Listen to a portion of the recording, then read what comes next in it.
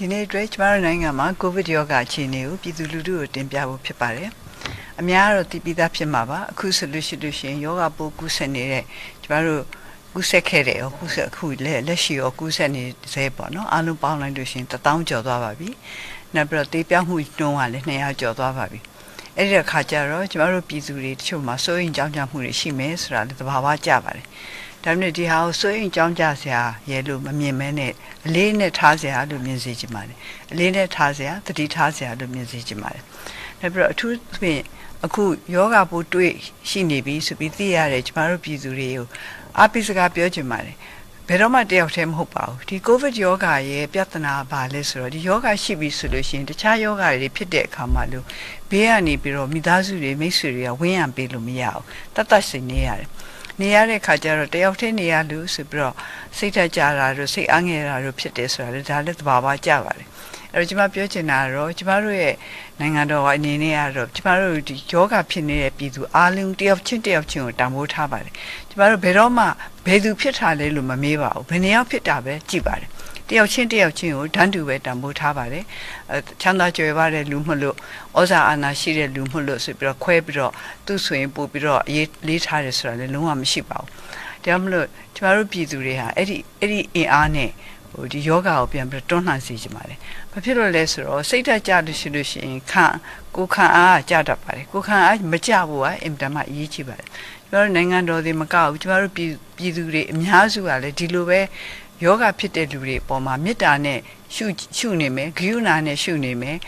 အများဆုံးပြန်ပြီးတော့တက်တာစေချင်တာတဲ့စိတ်တွေရှိနေမယ်လို့ကျွန်မယုံကြည်ပါတယ်။ဒါမှမဟုတ်ကျွန်တော်တို့ဒီယောဂပိုးရပြီဆိုတော့တွေ့တယ်ဆိုရင်စိတ်ဓာတ်မကြပါနဲ့။အတတ်နိုင်ဆုံးကျွန်တော်တို့လုပ်ပေးပါမယ်။နောက်ပြီးတော့လည်းပြည်သူပြည်သားတွေကလည်းဝိုင်းပြီးတော့မေတ္တာပို့ကြမယ်ဆုတောင်းပေးကြမယ်လို့လည်းကျွန်မယုံကြည်ပါတယ်။ဒီတော့ဒီယောဂပိုးတွေ့ရှိတာနဲ့ပတ်သက်လို့ဟိုတောက်ကြနေတော့ကျွန်မပြောပြောပါတယ်ဟိုတောင်ကိုရီးယားကနေပြီးတော့ မြန်ပေါ့နော်ဒီယောဂပိုးရှိမရှိကိုမြန်မြန်ဆန်ဆန်နဲ့မှန်မှန်ကန်ကန်စစ်ဆေးနိုင်တဲ့ antigen test kit တွေရဖို့ရှိတယ်လို့ကျွန်မပြောခဲ့ပါတယ်ဒါရက်ပိုင်းတွဲရောက်မယ်ဆိုတော့ကျွန်မပြောတဲ့အတိုင်းပဲအခုရက်ရက်ပိုင်းတွဲရောက်ပါပြီဆိုတော့မနေ့ကဆိုလို့ရှိရင်ကျွန်မတို့အစိုးရဝယ်ဝယ်တဲ့နှစ်သိန်းထဲမှာဆိုလို့ရှိရင်6000ရောက်ပါတယ်ဒီနေ့ဆိုလို့ရှိရင်နောက်3သိန်း4000 ရောက်ဖို့ရှိတဲ့အခါကျတော့ဒီနှစ်သိန်းစလုံးဟာဒီနေ့ပြင်မှာဖြစ်ပါတယ်မနေ့ဖြတ်ကနေစပြီးတော့ဒီမြို့နယ်ခရိုင်ဆေးရုံတွေမှာစပြီးတော့ဒီဒီစမ်းသပ်တဲ့ test kit ကိုသုံးမှာဖြစ်ပါတယ်။နောက်မနေ့ဖြတ်မှာလေကိုရီးယားတောင်ကိုရီးယားဆိုကနေပြီးလှူဒန်းတဲ့ဒီ test kit တွေက9000ရောက်ဖို့ရှိပါတယ်။အဲ့တော့စပြီးတော့ဒီမြန်မြန်ဆန်ဆန်နဲ့မှန်မှန်ကန်ကန်စမ်းသပ်နိုင်တဲ့ test kit တွေကိုသုံးပြီဆိုလို့ရှိရင်ယောဂပိုးရှိတာတွေပို့ပြီးတော့တွေ့လာ တွေးလာသလိုဖြစ်ပါလိမ့်မယ်။ဘာဖြစ်လို့မြန်မြန်စစ်လိုက်တဲ့ခါကျတော့မြန်မြန်သိရတယ်။အဲ့တော့အဲ့ဒါကြောင့်လည်းစိတ်ဓာတ်မကြပါနဲ့ဒီလိုမြန်မြန်သိရတဲ့ခါကျတော့စောစောစီးစီးကုသမှုပေးနိုင်တယ်။ပြောင်းနှုံးကပို့ပြီးတော့ကောင်းလာပါတယ်။ဒီအရင်လည်းကျမတို့ပြောခဲ့ပါတယ်ဒီယောဂပိုးနဲ့ပတ်သက်ဒီယောဂနဲ့ပတ်သက်ပြီးတော့ပေါ့နော်ဟိုအသေးပြောက်ရှိခဲ့တဲ့ဟာဘာတွေနဲ့ဆက်ဆက်နေလဲဆိုတော့အခြေခံကျန်းမာရေးနဲ့ဆက်ဆက်နေပါတယ်ဒါမှမဟုတ်အသက်ကြီးတဲ့ပုဂ္ဂိုလ်တွေအခြေခံကျန်းမာရေးအာ အာမကောင်းတဲ့ပုံကိုယ်တွေအခြေခံယောဂါတွေတခြားယောဂါတွေရှိတာအထူးသဖြင့်ပေါ့နော်စီဂျိုသွေးသွေးတို့နှလုံးယောဂါကျမတို့ရဲ့ပြည်သူတွေမှာရှိတတ်ပါတယ်အဲ့ဒါတွေရှိတဲ့ပုံကိုယ်တွေဆိုရင်ပို့ပြီးတော့တတိထားရပါတယ်ပို့ပြီးတော့ကိုခံအားမကောင်းလို့အာဆိုရင်စရာဖြစ်ပါတယ်ဒါပေမဲ့ဒီလိုယောဂါတွေရှိလို့လဲစောစောကျမပြောသလိုပေါ့နော်စိတ်ဓာတ်မကြပါနဲ့စိတ်ဓာတ်ကအများကြီးအများကြီးဆောင်ပါတယ်ကိုတယောက်တည်းမဟုတ်ဘူးကိုနဲ့တတိုင်းပြေလုံးကရှိတယ်ဆိုတဲ့စိတ်ဓာတ်နဲ့အင်အားမွေးပါ ကျမတို့တတိုင်းပြေလုံးတဲ့ကိုကလည်းရုန်းကန်ရမယ်ဆိုတဲ့စိတ်ဓာတ်နဲ့ဒီယောဂကိုကြော်လွှားနိုင်အောင်လို့ကျမကြီးဝင်ကြီးဌာနကဝန်ထမ်းတွေကျမကြီးဝန်ထမ်းတွေနဲ့ပူးပေါင်းဆောင်ရွက်ပေးစီကြပါတယ်ကျမကြီးဝန်ထမ်းတွေအကြောင်းပြောရင်းနဲ့တခါတည်းကျမပြောရမယ်ဆိုလို့ရှိရင်ကျမကြီးဝန်ထမ်းတွေထဲမှာလည်းယောဂပိုးကူးဆက်တာရှိတယ်အသေးပြောက်လည်းရှိလာပါတယ်ဒါဟာလည်းကျမတို့ရဲ့ကျမကြီးဝန်ထမ်းတွေရဲ့အလုတ်ကသဘောတဘာဝအရာရှောင်ရခက်တဲ့ကိစ္စပါကျမတို့ဒီဒီလို ရှောင်ရခက်တဲ့ကိစ္စမှာတည့်ရတာနဲ့စေနာမေတ္တာနဲ့တာဝန်ကျေပွန်စွာထမ်းထမ်းဆောင်ပေးနေတဲ့ကျမရေးဝန်ထမ်းတွေကျမတို့စေနာဝန်ထမ်းတွေပေါ့နော် quarantine ဘက်မှာကိုကြီးတဲ့စေနာစေနာဝန်ထမ်းတွေအားလုံးကိုလည်းပြည်သူပြည်သားများကိုစားကျေးဇူးတင်ပါတယ်ဆိုတော့ကျွန်မထပ်လောင်းပြီးတော့ပြောချင်ပါတယ်ဒါတော့ကျမတို့ပြည်သူတွေဟာအခုဆိုလို့ရှိရင်တော့အထူးဖြင့်ပေါ့နော်ဟိုဒီယောဂပြပွားမှုက များပြပြီးတော့ဆိုးဝါးနေတာတော့ရန်ကုန်တိုင်းပေါ့ရန်ကုန်တိုင်းမှာတော့တော်တော်ဆင်ဆင်ခြင်ခြင်ဖြစ်လာပြီလို့သိရတဲ့အတွက်ဝင်းသာပါတယ်ဒါပေမဲ့လည်းဟိုဆက်ပြီးတော့ဆင်ခြင်မှုလိုပါတယ်ဒါအခုဟာအဲအခုစပြီးဆင်ခြင်လို့မနေ့ဖြန်ချက်ချင်းအားလုံးကပျောက်သွားမှာမဟုတ်ပါဘူးကူးပြီးသားယောဂပိုးတွေကတော့ရှိနေမှာပဲဆက်ပြီးတော့မပြန့်ပွားအောင်လို့ကျမတို့ကထိန်းသိမ်းထားဖို့ဖြစ်ပါတယ်ဆက်ပြီးတော့မပြန့်ပွားအောင်လို့ဆိုတော့အဲ့ဒီလိုပြန့်ပွားစေတဲ့နေရာတွေကိုအထူးကျမတို့ဂရုပြုပြီးတော့အာ လှုပ်ဆောင်နေပါတယ်ဥပမာဆိုရင်ဈေးတွေပေါ့နော်ဈေးတွေမှာအစကတည်းကတော့စီမီစီကန်တွေထုတ်ထားတာပဲဒါပေမဲ့လည်းဒီစီမီစီကန်တွေကိုတင်းတင်းကြပ်ကြပ်လိုက်နာမှုတွေကတော့နည်းပါတယ်ဒါကြောင့်မို့လို့လည်းအဲ့ဒီဘက်ကနေပြီးတော့ပြန်ပွားတာရှိပါတယ်အခုကျတော့ပို့ပြီးတော့စီမီစီကန်တွေကိုတင်းတင်းကြပ်ကြပ်အဲလိုက်နာလာတာတွေကလည်းရှိတယ်ပေါ့နော်ပြည်သူတွေဘက်ကဒီအစိုးရဘက်ကလည်းပို့ပြီးတော့တင်းတင်းကြပ်ကြပ် ထိမ့်သိမ့်မှုဆောင်ရွက်နေတာတွေလည်းရှိပါတယ်အဲဒါကြောင့်မလို့ဒီလိုပြန့်ပွားမှုကတော့နှုံးကတော့ကျသွားနိုင်မယ်လို့ကျွန်တော်တို့မျှမှန်းထားပါတယ်ဟိုစီမစီကန်နေချမှတ်ထားရတဲ့တန်းနဲ့ဒီစီပင်စီကန်းတွေကိုမလိုက်နာပဲနေတာဟာအဲ့ဒါတတိမဟုတ်ဘူးနော်အဲ့ဒါတော့ကျွန်မသတိထားစီခြင်းနဲ့ဒီဟာမကြောက်ပါဘူးမဖြစ်မှမကြောက်ပါဘူးဆိုပြီးတော့စီမစီကန်းတွေမလိုက်နာတာတတိမဟုတ်ဘူး အဲ့ဒါပြောရင်းနဲ့ဖေဖေပြောတဲ့စကားလေးတခုကိုသွားပြီးသတိရပါတယ်လူရဲတဲ့ဟာတတ်တိမဟုတ်ဘူးတဲ့ခံရဲတာဟာတတ်တိတဲ့အဲ့ဒါကြောင့်မလို့အခုဒီစီမီစီကန်တွေကိုချိုးဖောက်ရဲတယ်ဆိုတာတတ်တိမဟုတ်ပါဘူးစီမီစီကန်တွေကိုဟိုခံရဲတယ်စီမီစီကန်တွေရဲ့ဝင်ကိုခံပြီးတော့ဒီစီမီစီကန်တွေကိုလိုက်နာမယ်ဆိုတာအဲ့ဒါတကယ်တတ်တိပါ ဒီလိုလူရဲတဲ့တတ္တိထဲမှာတော့ကျမတို့ဝန်ထမ်းတွေပါတာပေါ့စေနာဝန်ထမ်းတွေနဲ့ကျမရေးဝန်ထမ်းတွေကတော့တတ္တိနဲ့လုပ်ရတယ်အများအတွက်လုပ်ရတယ်ဒီတတ္တိကိုဒီလိုလူရဲတဲ့တတ္တိကတော့ခံရဲတဲ့တတ္တိနီးတူနီးတူတန်ဖိုးရှိပါတယ်အဲကျမတို့အခုပြည်သူတွေကျမရေးအတွက် view site တဲ့နေရာမှာဘယ်သူမှမချန်လှထားပါဘူးစောစောကပြောသလိုပေါ့နော်အာအယုတ် အယုတ်အလအမြတ်ကျမတို့မခွဲကြပါဘူးဥပမာအဖြစ်ဆိုလို့ရှိရင်အကျဉ်းကျနေတဲ့ကျမတို့ပြည်သူတွေအချုပ်ခံနေရတဲ့ကျမတို့ပြည်သူတွေရဲ့အဲလိုအပ်ချက်တွေကိုလည်းကျမတို့အများကြီးစဉ်းစားပါတယ်အကျဉ်းထောင်တွေမှာတွေမှာမပြန့်ပွားအောင်လို့အချုပ်ခန်းနေတဲ့မှာယောဂမပြန့်ပွားအောင်လို့တစ်ချိန်တည်းမှာလည်းတရားဥပဒေစိုးမိုးရေးကိုကျမတို့ဥထိတ်ထားပြီးတော့တရားစီရင်မှုတွေဟာလုံထုံးလုံနည်းအရဆက်လက်ပြီးတော့ဖြစ်သွားအောင်လို့လည်းကျမတို့စီစဉ်ရပါတယ်တရားမလို့ရမပေးတဲ့နေရာမှာ ဒီလိုစီရင်ချက်ချတဲ့နေရာမှာဘယ်လို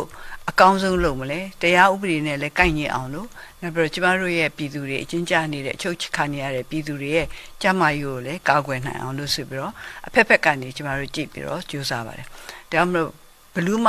အားငယ်စရာမလိုပါဘူးငါကတော့အရေးမပါဘူးငါအချင်းကြနေတဲ့လူအချုပ်ကြနေတဲ့လူလို့စဉ်းစားစရာလည်းမလိုပါဘူးအားလုံးကိုကျမတို့တန်းတူညီတူ ဂရုစိုက်ပြီးတော့အကောင်းဆုံးဖြစ်အောင်လို့လုပ်ပေးပါမယ်ပြည်သူတွေကတော့ဝိုင်းဝန်းပြီးတော့ပူးပေါင်းဆောင်ရွက်ဖို့ကတော့အင်တာမလိုအပ်ပါတယ်ဒီစီမီစီကန်တွေကိုလိုက်နာဖို့ပဲဖြစ်ပါတယ်နောက်ပြီးကျွန်တော်တို့အရင်တောက်တောက်ကြံတွေတော့ပြောတယ်လေအစီအစဉ်တစ်ခုလုပ်ပါမယ်အဲ့ဒါကတော့ကျွန်တော်တို့ပြည်သူတွေက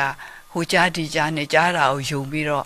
ဟိုဆိုဆေးမီတို့လေးနဲ့ကုကြည့်ဒီဆေးမီဆေးမီတို့လေးနဲ့ကုကြည့်ဟာတွေလုံးမှာဆိုလို့ကျမတို့သမားတော်ကြီးများ ဟိုကိုပေါ့နော်မင်းကိုမေးနိုင်တဲ့အစီအစဉ်လေးလုပ်မယ်လို့ကျွန်မပြောခဲ့ပါတယ်ဒီအစီအစဉ်ကလည်းမနေ့ဖြန်ဆိုစတင်တော့ပါမယ်စတင်ပါတော့မယ်ဒီအစီအစဉ်မှာသိကျင်တဲ့ကိစ္စတွေမေးဖို့ဆိုလို့ရှိလို့ရှိရင်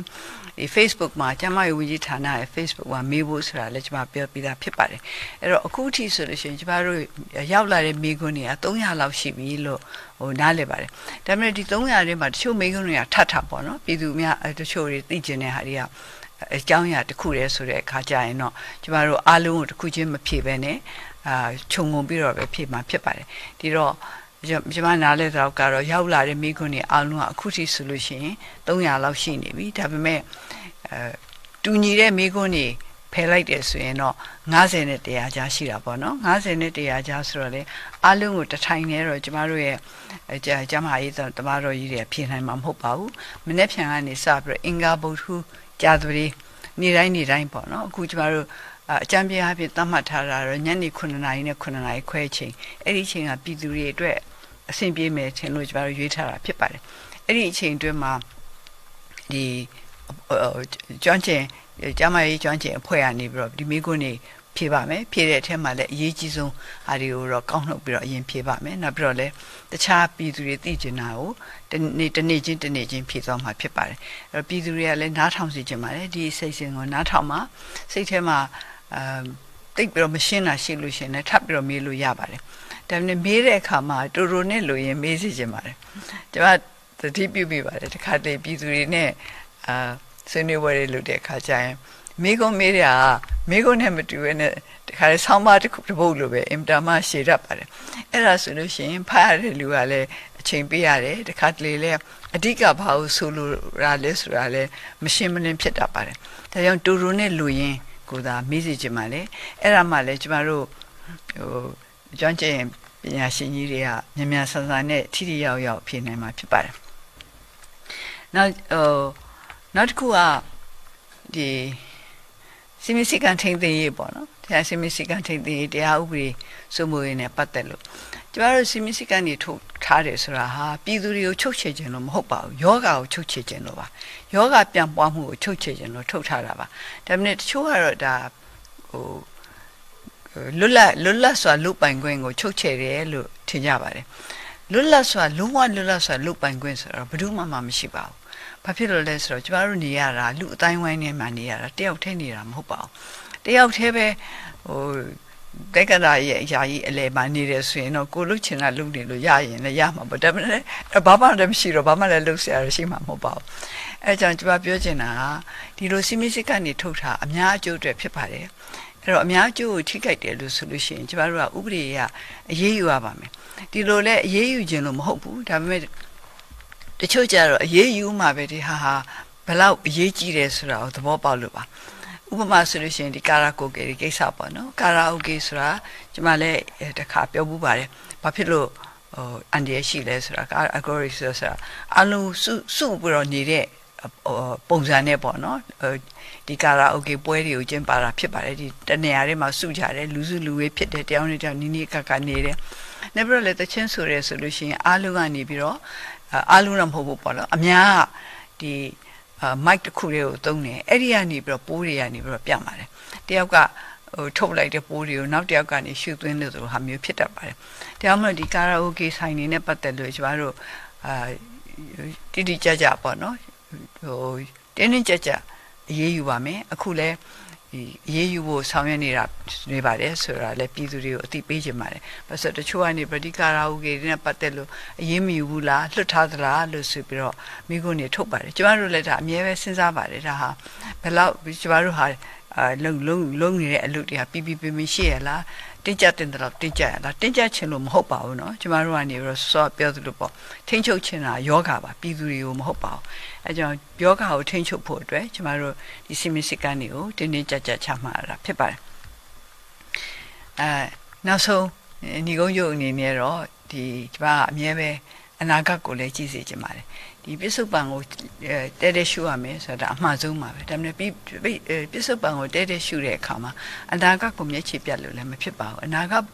ကိုဘယ်သွားခြင်းလဲဆိုတာလည်းကျမတို့စဉ်းစားဖို့ဟာလိုပါတယ်ဒါကြောင့်ကျမကနေပြီးတော့စီးပွားရေးအခြေအနေနဲ့ပတ်သက်လို့ဟိုကြုံရင်ကြုံတယ်လို့ပြည်သူတွေကိုတင်ပြတာဖြစ်ပါတယ်အစိုးအိမ်မလွန်စေခြင်းလို့ပါကျမတို့ဟိုနိုင်ငံမှာဆိုလို့ရှိရင်အခုကျမကြည့်လိုက်တဲ့အခါကျတော့တိုးတက်မှုနှုံးနေပေါ့နော်ဒီကမ္ဘာလုံးမှာဆိုရင်တိုးတက်မှုနှုံးတွေက ကျနေပါတယ်ကျနေပြီမဲ့တချို့နိုင်ငံတော်တော်များများမှာဆိုရင်ကျတာဘယ်လောက်ကျလဲဆိုတော့ဟိုအနှုတ်လက္ခဏာပြနေတုံညအောက်ကျသွားတယ်ပေါ့ကျမတို့ကအခုထက်တည်းတော့တုံညအောက်မကျသေးပါဘူးတုံညအောက်မကျတဲ့နိုင်ငံအနည်းငယ်ထဲမှာပါတယ်လို့ပြောရမှာပေါ့ကျမတို့အာဆီယံမှာဆိုရင်တုံည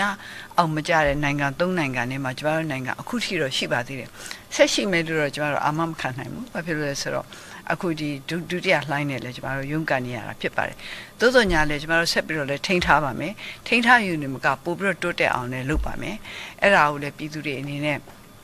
ဒီနောင်ပေါ့နော်အနာဂတ်စီးပွားရေးအခြေအနေကိုစဉ်းစားပြီးတော့ဟိုစိုးရိမ်အစိုးရိမ်မလွန်စေချင်ပါဘူးအခုချိန်မှာကြမ်းမအောင်နေပါအကယ်ယောဂပိုးဝင်နေပြီဆိုလို့ရှိရင်ဒီယောဂပိုးကိုကြော်လွှားနိုင်မှုအတွက်ကိုယ်စိတ်ကိုကိုမမထားပါကျမတို့အားလုံး နိုင်ငံတော်အစိုးရရောပြည်သူပြည်သားတွေရောကိုယ့်ဘက်မှာရှိနေတယ်ဆိုတာကိုယုံကြည်ပါဒီနောင်လာမဲ့စီးပွားရေးအခက်အခဲတွေအတွက်ကျမတို့နိုင်ငံတော်ကနေပြီးတော့ပြင်ဆင်ထားတာရှိပါတယ်ပြင်ဆင်ထားပြီးသားပါဆက်လက်တော့ဆက်ပြီးတော့လည်းလုပ်သွားမှာပါအရင်တော့ပြင်ဆင်ထားပြီးပြီဆိုပြီးတော့ထိုင်ပြီးကြည့်နေမှာမဟုတ်ပါဘူးအခြေအနေပြောင်းလဲတာနဲ့အမျှကျမတို့ဘယ်လိုပြောင်းလဲသင့်တယ်ဘယ်လိုခြေလှမ်းနေလှမ်းသင့်တယ်ဆိုတာကိုကြည့်ပြီးတော့ဆက်လုပ်သွားမှာဖြစ်ပါတယ်အဲ့တော့အာကျ မထပ်တလဲလဲပြောသလိုပေါ့ကျမတို့ပြည်သူတွေရဲ့အဓိကတာဝန်ကတော့ကိုကျမ်းမာရေးကိုဂရုစိုက်ဖို့ပဲကိုကျမ်းမာရေးကိုဂရုစိုက်ပါကိုဟိုမကိုဝင်ပြီးပြီဆိုရင်ဒီဟာကိုကြော်လွှားနိုင်ဖို့စိတ်ဓာတ်အင်အားနဲ့အဲဒီမကပေါ့နော်ကျမတို့နိုင်ငံတော်ကပေးတဲ့ကျမရေးဆောင်ရှောက်မှုအင်အားနဲ့ကြော်လွှားပါဟိုကိုဗစ်ရောဂါပို့မဝင်သေးဘူးဆိုရင်လည်းနောက်မဝင်အောင်လို့ ကိုယ့်ကိုမကူးဆက်အောင်လို့တခြားလူတွေမကူးဆက်အောင်လို့နီးမျိုးမျိုးနဲ့ကြိုးစားကြပါလို့ကျွန်မအနေနဲ့မေတ္တာရပ်ခံချင်ပါတယ်။ကြံတဲ့ကိစ္စတွေတော့ကျမတို့နိုင်ငံတော်ကနေပြီးတတ်နိုင်သမျှတာဝန်ယူပါမယ်။ကျမတတ်နိုင်သမျှလို့ပြောတာဘာဖြစ်လို့လဲဆိုတော့အားလုံးကိုလည်းကျမတို့ကနေပြီးကြိုတင်ပြီးတော့ခန့်မှန်းလို့မရပါဘူး။ခန့်မှန်းနိုင်သူတွေတော့ခန့်မှန်းပြီးတော့ပြည်သူလူထုမထိခိုက်အောင်နိုင်ငံတော်မထိခိုက်အောင်လို့ကျမတို့ဒီဇိုင်းမှမှလုပ်နေပါတယ်ဆိုတော့ပြည်သူတွေယုံကြည်စေချင်ပါတယ်။ဒါကြောင့် ဒီကိုဗစ်ရောဂါကိုတယောက်ချင်းတယောက်ချင်းအောင်နိုင်အောင်လုပ်မယ်ဆိုလို့ရှိရင်ကျမတို့တနိုင်ငံလုံးကလည်းအောင်နိုင်မှုရမှာလို့ယုံကြည်ပါတယ်လို့ပြောရင်းနဲ့ညီကုန်းချုပ်ပါတယ်အားလုံးကြမ်းမှချမ်းသာအောင်နေနိုင်ကြပါစေနေနေပါမေတ္တာအများကြီးပို့ပါတယ်ကျေးဇူးတင်ပါတယ်